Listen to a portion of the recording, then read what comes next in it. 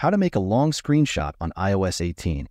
Have you ever wanted to make a screenshot larger than what is currently visible on the screen? Stay till the end of the video and find out how you can do it on iOS 18.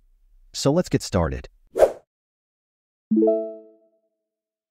Okay, first of all, you should know that you can make this type of screenshot on web pages. That's why we're going to create a screenshot and load a web page. As you can see, we can't preview the whole page and make a screenshot. However, there is still a way. To do this, go to the beginning of the page and make a standard screenshot. Once you've done that, tap on the created screenshot. Now all you need to do is find the option at the top of the screen, which is full page. When you find it, tap on it, and that is that. Now, as you can see, we have a screenshot of the entire page. That's all for this video. If you found this tutorial helpful, don't forget to give it a thumbs up, subscribe for more similar tips, and hit that notification bell so you never miss an update from us.